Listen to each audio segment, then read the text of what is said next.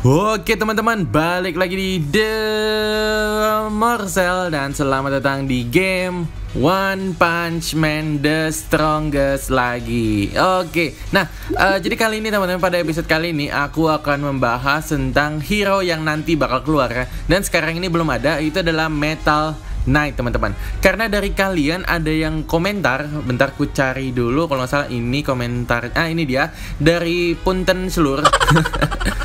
bang, eh, tas yang lawan Meteor kan ada Metal Knight. Bang, review bang skillnya. Oke, di sini kita bakal coba review dulu Metal yang ini kita kecilin. Nah ini ya ko- komennya dari Punten Selur teman-teman ya. Thank you banget buat yang udah komen dan nanti ini eh, sebagai info doang teman-teman. Nanti kalau misalkan kalian pengen hero-hero apa gitu yang belum keluar atau yang eh, nanti mau keluar untuk dibahas kalian boleh tulis di kolom komentar. Contohnya masih banyak kan Metal Bat belum, Garo belum, eh, Silver Fang atau Bang belum ya. Itu kan banyak tuh yang belum keluar.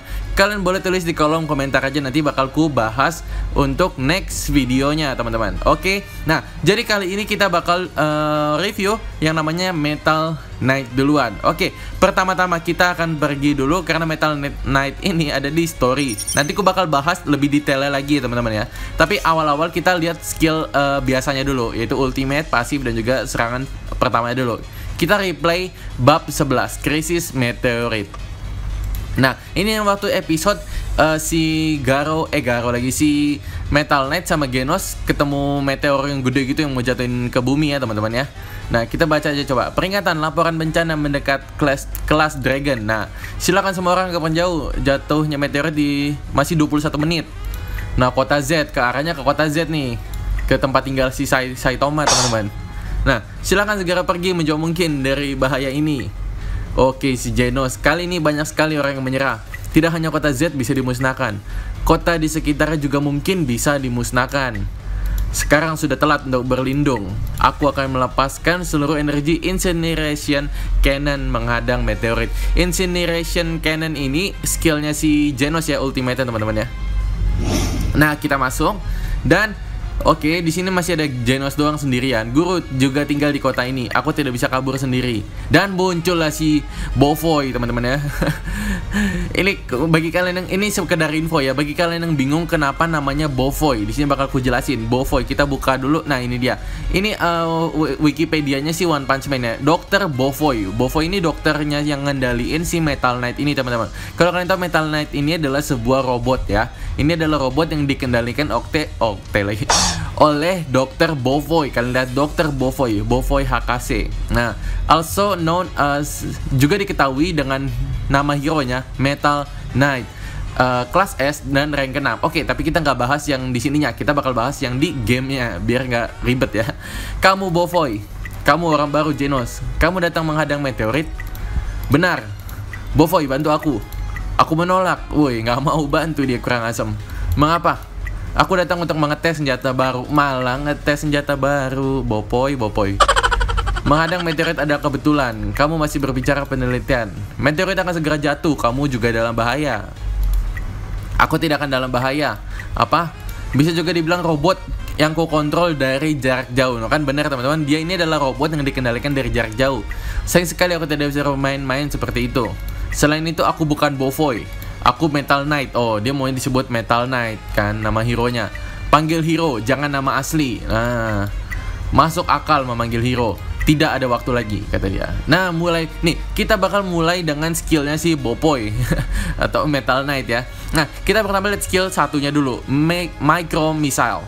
Uh, terhadap target solo membuat 120% attack power plus 10 terus damage uh, dan juga ada 100% kemungkinan membuat target burn 2 ronde. Nah, ini ba uh, bagus teman-teman. Kenapa? Dia serangan biasanya tuh udah ada efek burn di mana kalau si Genos kan ultimate-nya doang yang ada efek burn. Tapi serangan biasanya nggak ada, biasa doang. Kan machine machine gun blow-nya tuh nggak ada burn-nya. Tapi kalau sedangkan si Bovoy ini dia mempunyai efek burn 2 ronde, 50% attack dari DOT. Nah, kita lanjut ke ultimate-nya. Missile launch.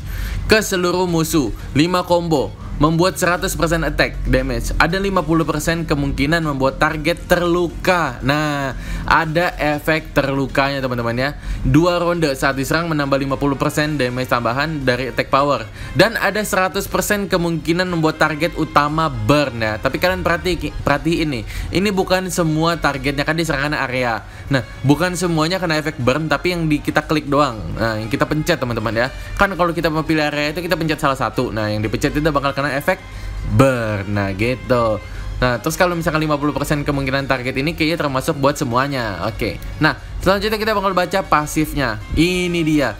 Setiap musuh yang terluka membuat pihak sendiri. Uh, baca nih pihak sendiri. Bukan kayaknya bukan dia doang tapi pihak satu timnya uh, menambah 10% attack power maksimal 3 tingkat. Berarti uh, kan kalian baca nih setiap musuh terluka terus ada bawahnya tulisan maksimal 3 tingkat yang berarti teman-teman uh, maksimal 3 musuh yang terluka bakal nambah 10% attack power dari teman satu timnya si Bopoy. Nah, um, membuat musuh yang burn itu dapat efek weak teman-teman ya. Yang kebakar gitulah, efek weak ya. Ini cocok banget nih untuk hero-hero hero-hero yang punya efek burn ya. Bagus nih pasifnya si Bopoy ini. Uh, satu ronde attack minus 10% permanen menambah 20% eh 20 HP sendiri. Nah, itu dia teman-teman. Di sini kita coba lihat aku nyalain dulu animasinya. Kita coba buat ultimate-nya ya. Kita lihat ultimate-nya teman-teman. Missile launch. Nah, itu kalau misalkan banyak harusnya area ya. Orang ini punya banyak sekali senjata penghancur, butuh dilindungi. Tingkat ancaman seperti ini tidak bisa katanya. Harus menggunakan seluruh kekuatan incineration cannon oh si Genos ini mau ngelindungin orang-orang nih. Cuma si Bopoy nggak mau. Dia mau ngetes senjata doang teman-teman. Udah kita serang pakai si cannon ini. Woi lama bener. Serangan biasa. Ditonjok-tonjok. Woi woi woi langsung koit semua teman-teman. Dan oke itu dia ya. Lanjutannya ada di bab 12 tapi kita nggak bakal fokus ke situ. Nah selanjutnya teman-teman di sini aku punya gambar tampilan daripada si Metal Knight atau Bovo ya. Ini seperti biasa teman-teman. Ini kalau yang digambar ini udah banyak rada banyak ya yang udah keluar teman-teman ya. Nah di sini itu uh, kita lihat dulu deh. Kita aku lihat gambar sampingnya deh. Kalau dari sini kayaknya susah ngejelasinnya ya. Tapi di sini udah ada banyak. Ada zombie, ada silver fang, ada garo, flashy flash, goketsu, ada me metal bed di sini ya. Yang ini ada glory bass dan juga ada vaccine man. Nah, ya kalian juga boleh teman-teman tulis di kolom komentar nih sekali lagi aku ingetin ya untuk next siapa yang pengen kalian bahas. Nah, gitu ya. Biar kita sama-sama enak, sama-sama ngebahas teman-teman untuk hero apa yang bakal keluar nanti. Oh, menurut info dari adminnya nanti nextnya itu King. Nah terserah kalian tulis aja di kolom komentar. Nanti kalau pada mau bahas King kalian tulis King. Kalau pada mau bahas Metal Knight uh, eh Metal Knight mah udah. Kalau Metal Bed, Garo, Silver Fang, Flashy Flash, Goketsu gitu-gitu, Zombie Man kan kan boleh tulis di kolom komentar aja. Oke kita coba next. Nah ini kan lebih enak nih ya teman-teman. Nah kalian perhatikan ini basic statnya dulu teman-teman. Nah basic stat daripada si Metal Knight. Ini kita buat perbandingan dulu kita aku pergi ke ini kita coba ambil siapa yang perbandingannya. Hero SSR juga. Mungkin kita bakal perbandingkan sama Atomic Samurai ya. Kita coba perbandingkan sama Atomic Samurai ya. Mana Atomic? Nah ini dia. Kita coba perbandingkan infonya teman-teman oke? Kita balik lagi ke si ini Metal Knight. Nah Metal Knight. Kalian lihat ini semua basic basic ya teman-teman. Nah kita lihat ya di sini ya Nah, perbandingan kalian kelihatan kan? Nah, di sini attack-nya teman-teman kalau dibandingkan dengan si Atomic, attack Atomic 392. Ini basic ya loh, basic biasanya yang belum ditambah equipment apa-apa, belum ditambah item apa-apa. Kan? Basicnya 392. Kalau si Metal Knight 422 lebih tinggi uh, 230. Wow, lumayan 30 loh. Terus defense-nya 107, lebih gede 199 kalau si Atomic. Terus kalau misalkan speednya 100, Atomic 98. Oke, beda tipis, beda dua doang ya. Terus HP-nya 2351, yang ini 2531 sama untuk uh, darahnya sama ya. Sisanya damage crit-nya 100%. Terus sisanya 000 ini karena tidak ada apa-apa ya, karena belum ada tambahan item apa pun teman-teman ya. Nah itu dia. Dan selanjutnya kita coba lihat. Aku bentar, aku cek dulu.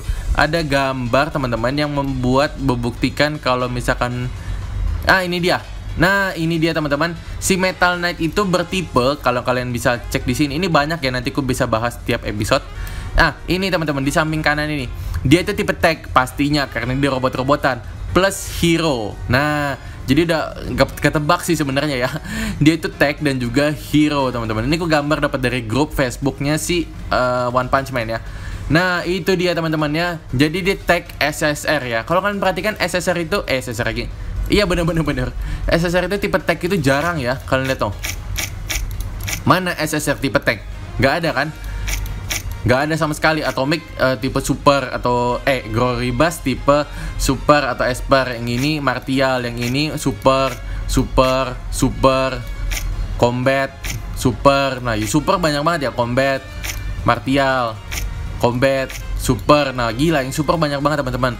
Terus ada lagi dua-dua SSR di atas. Dipsy dah oh iya ada Child Emperor. Padahal aku udah pakai tapi aku lupa jadi ada dua nanti kalau sama Metal Knight ya yang tipe tag nah gitu. Tapi dikit juga ya dibandingkan yang lainnya. Apalagi sih uh, tipe combat sama tipe esper nih ya. Atau super ya. Gila gila. No kalau yang ini martial dan juga ini combat teman-teman.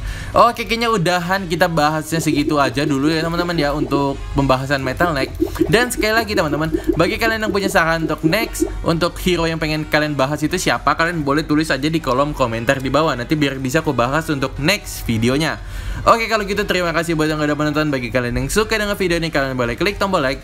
Dan bagi kalian yang belum klik tombol subscribe kalian boleh klik tombol subscribe. Dan jangan lupa nyalakan lonceng kalian. Oke teman-teman terima kasih buat yang udah menonton. I'm gonna see you in the next video. Bye bye